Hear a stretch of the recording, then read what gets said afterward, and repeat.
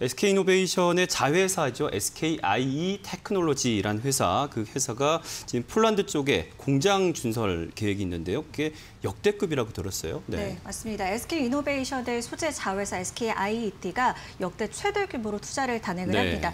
폴란드에 현재 1, 2 공장을 짓고 있는데 3, 4 공장 추가 증설을 하겠다라는 것이고요. 역대 최대 규모 1조 1,300억 원 가량을 투입할 것으로 예상이 되고 있습니다. 올해 3분기에 착공을 해서 2023년 말부터 양산을 할 예정이라고 하는데요. 어, 보시는 바와 같이 국내뿐 아니라 중국 그리고 유럽 쪽 그리고 특히 폴란드의 1, 2 공장을 지- 짓고 올해 가동을 할 예정인데 어, 현재까지 이제 생산 규모가 1, 2 공장을 합산을 하면 6억 8천 제곱미터입니다. 그런데 3, 4 공장의 생산 능력까지 확보를 하면 15억 4천 제곱미터 생산 능력을 갖추게 되는 것이고요.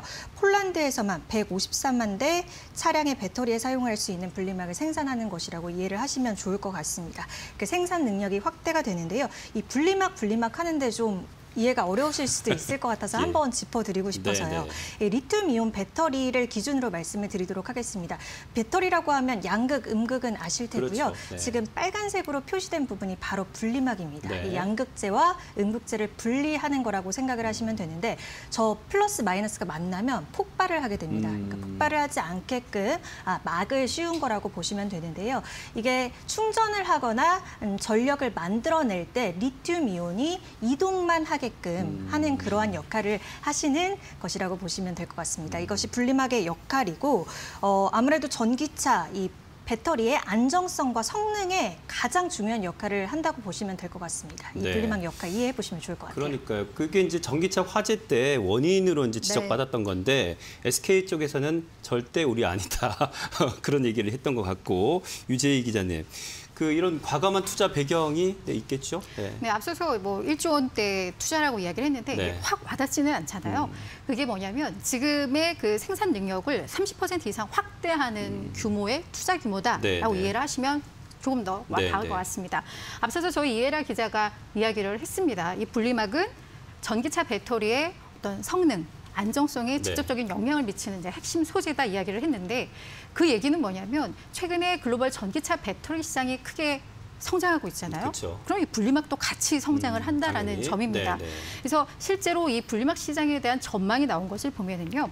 지난해에는 40억 제곱미터 규모였는데 이게 2025년에는 160억 제곱미터 규모까지 그러니까 약네배 정도 성장할 것이라는 전망이 나오고 있고요. 네.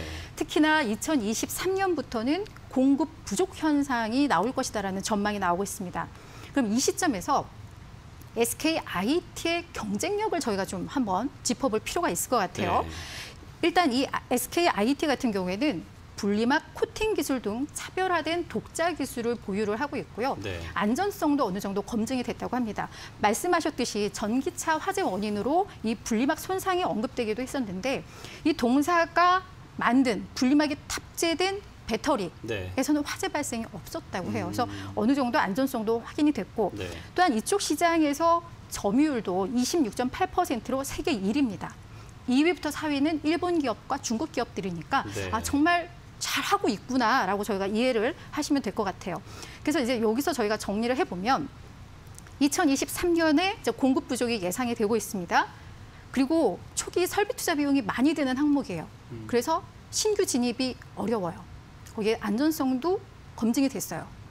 이쪽에 분리막에 대한 수요가 많이 늘겠죠. 음. 그래서 그 부분에 대비하기 위해서 이번에 좀 선제적으로 투자를 하는 것이다. 네. 이렇게 좀 이해를 하시면 될 것 같습니다. 네. 자, 지금 어쨌든 지금 글로벌 완성차 업체들은 배터리 내재화에 다 지금 집중을 하고 있는 상황입니다. 그리고 우리 K 배터리 3사도 생존 전략 필요해 보이는데요. 자, 어, 계속해서 좀 이야기 들어볼까요? 네, 네. 완성차 업체들이 계속해서 배터리, 배터리 내재화를 하고 있기 때문에 네. 국내 배터리 3사는 긴장할 수밖에 음. 없어요. 그래서 3사도 정말 생존을 위한 전략들을 좀 펼치고 있는데요.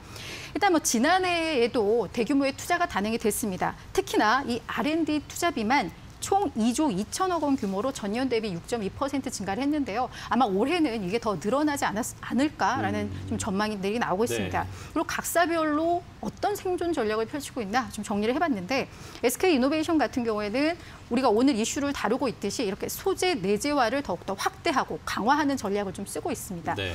지금은 이 분리막과 관련해서 이제 투자를 많이 하고 있다고 했는데 분리막과 함께 이 배터리 쪽에서 가장 핵심 소재가 또 양극재거든요. 네. 그래서 이 양극재는 대부분 좀 수입에 많이 의존하고 있는데 이 부분도 내재화에 대한 계획을 좀 세우고 있는 것으로 네. 알려져 있습니다.